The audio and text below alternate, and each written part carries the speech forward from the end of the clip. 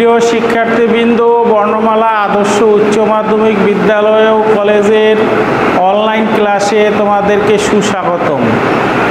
আশা করি তোমরা সকলেই এই গরমের মধ্যে ভালো আছো, সুস্থ আছো এবং নিয়মিত অনলাইন ক্লাস পর্যবেক্ষণ করে তোমাদের লেখাপড়ার কার্যক্রমকে চালিয়ে যাচ্ছ। আমি মোহাম্মদ দেলোয়ার হোসেন সিদ্দিক। আজকে তোমাদের ষষ্ঠ শ্রেণির বিজ্ঞান বিষয়ের একাদশ অধ্যায়। এ অধ্যায়ের শিরোনাম ছিল বল এবং সরল যন্ত্র। আজকে তোমাদেরকে আমি যে অংশটুকু পাঠদান করব তা হলো লিভার এবং লিভারের শ্রেণি বিভাগ। তা প্রথমে আসি আমরা লিভার কি? লিভার কাকে বলে? লিভার হইল একটি যন্ত্র যা কোনো একটা শক্ত অবলম্বনের উপর দাঁড়িয়ে উঠানামা করতে পারে। অর্থাৎ যে যন্ত্রের মাধ্যমে কম বল প্রয়োগ করে অধিক কাজ সম্পন্ন করা যায়। অর্থাৎ কম বল প্রয়োগ, কম বল প্রয়োগ করে অনেক বেশি ভারী জিনিস উপরে উঠা নামা করানো যায়। তোমরা একটু চিত্র দিকে লক্ষ্য করো। এটা একটা লিভার।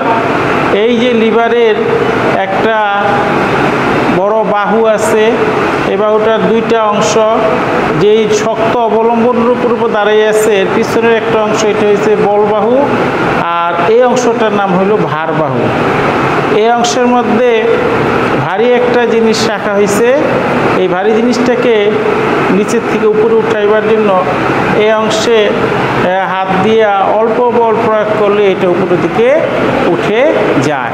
এই লিভারের একটা যান্ত্রিক লিভার কার্যক্রমটা পরিচালনার জন্য একটা মূলনীতি আছে। এই মূলনীতিটা হলো নিম্নরূপ।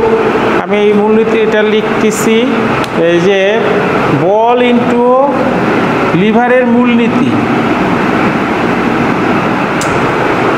কোনটা দিয়ে লিখছিলাম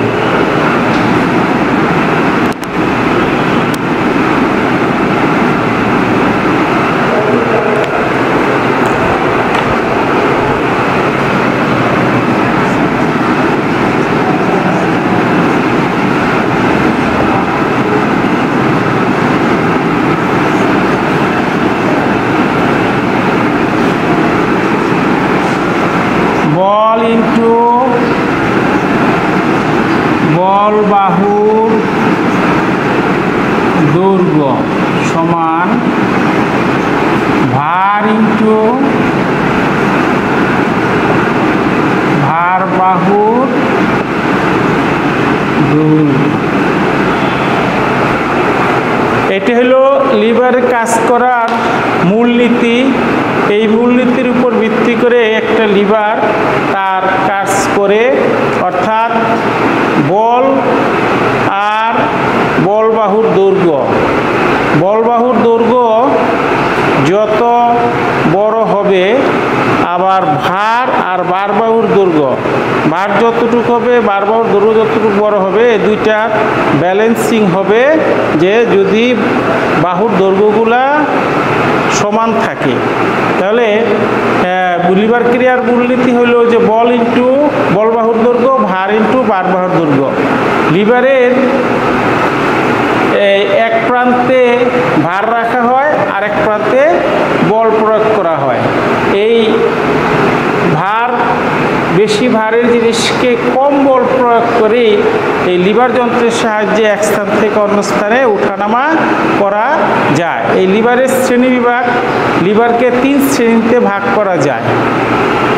একটা হলো প্রথম শ্রেণির লিভার, দ্বিতীয় শ্রেণির লিভার আর তৃতীয় শ্রেণির লিভার। প্রথম শ্রেণির লিভার এই ক্ষেত্রে ফালক্রামের অবস্থান প্রযুক্ত বল ও ভারের মাঝখানে থাকে।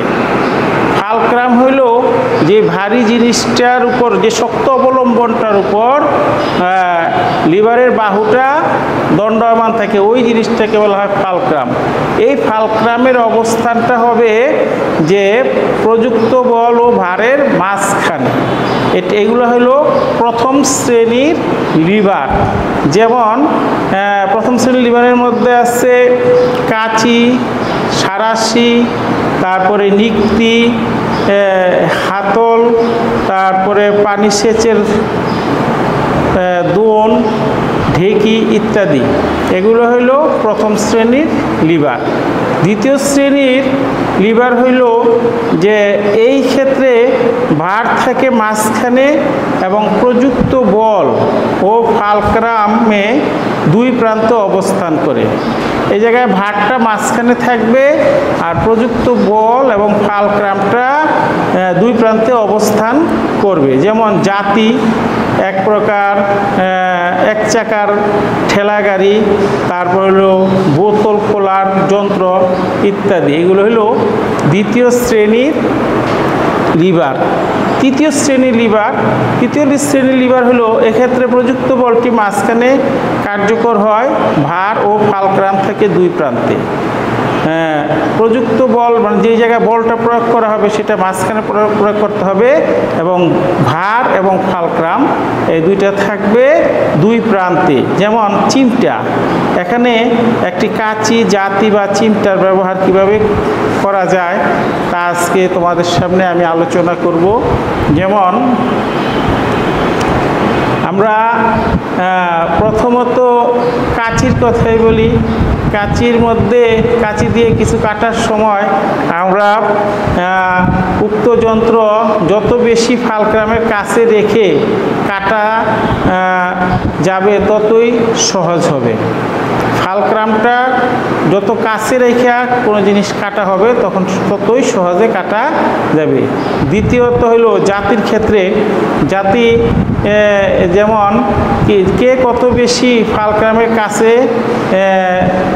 যাবে সেই তার উপর ভিত্তি করে জাতিটা কার্যক্রমটা শুরু হয়।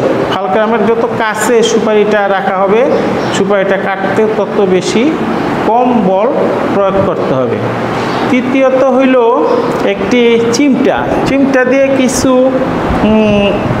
চিমটা দিয়ে কিছু আটকানোর ক্ষেত্রে আঙ্গুলের চাপটি যত বেশি বস্তুর কাছাকাছি যাবে, বস্তুটিকে আটকে রাখা তত বেশি সহজ হবে।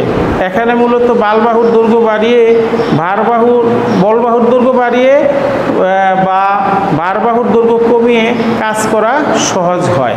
তো আমরা এই যে লিভারের তিন প্রকার শ্রেণীবিন্যাস জানলাম যে প্রথম শ্রেণির শ্রেণীবিন্যাস, দ্বিতীয়, প্রথম শ্রেণির লিভারের মধ্যে প্রযুক্ত বল ও ভারের মাঝখানে থাকে ফালক্রামটা দ্বিতীয় শ্রেণির লিভারের ক্ষেত্রে ভার থাকে মাঝখানে আর প্রযুক্ত বল আর ফাটকাম থাকে দুই প্রান্তে।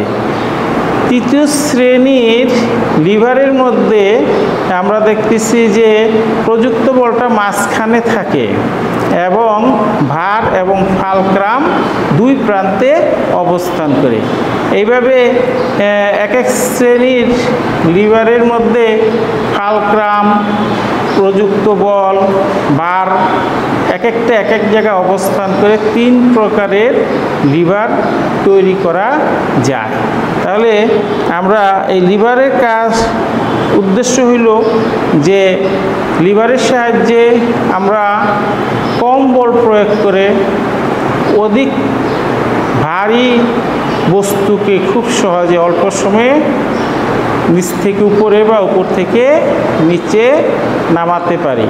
এই লিভারের সাহায্যে আমরা কম বল খরচ করে অধিক কাজ সম্পন্ন করতে পারি।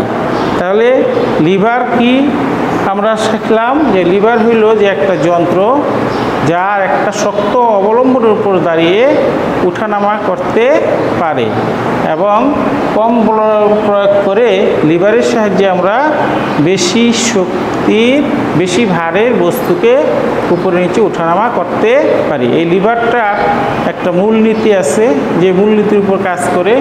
সেই মূলনীতিটা কী ছিল? বল ইন্টু বল বাহুর দৈর্ঘ্য সমান ভার ইন্টু ভার বাহুর দৈর্ঘ্য। তাহলে আজকে আমরা লিভার এবং লিভারের শ্রেণি বিভাগ সম্পর্কে আলোচনা শুনলাম। সবাই মন দিয়ে বাসায় বই খুলবা, খুল দিয়ে তোমরা তোমাদের পাঠ্য বইয়ের এই লিভার এবং লিভারের শ্রেণি বিভাগ সম্পর্কে আরও ভালো বিস্তারিত লেখা আছে, ভালো করে মন দিয়ে পড়বে। তোমাদের সামনেই অর্ধবার্ষিক পরীক্ষা আর এক মাসও নাই। সবাই মন দিয়ে অনলাইন ক্লাসগুলা দেখবে এবং নিয়মিত পড়ালেখা করবে, এই আশা ব্যক্ত করে আজকের মতো আমি তোমাদের অনলাইন ক্লাস থেকে বিদায় নিচ্ছি। সবাইকে ধন্যবাদ জানিয়ে খোদা হাফেজ।